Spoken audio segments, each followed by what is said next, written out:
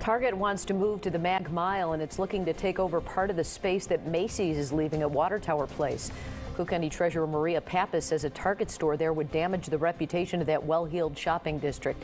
She calls the idea an embarrassment to the city. As of now, it's unclear how close Target is to signing a deal at Water Tower Place. Video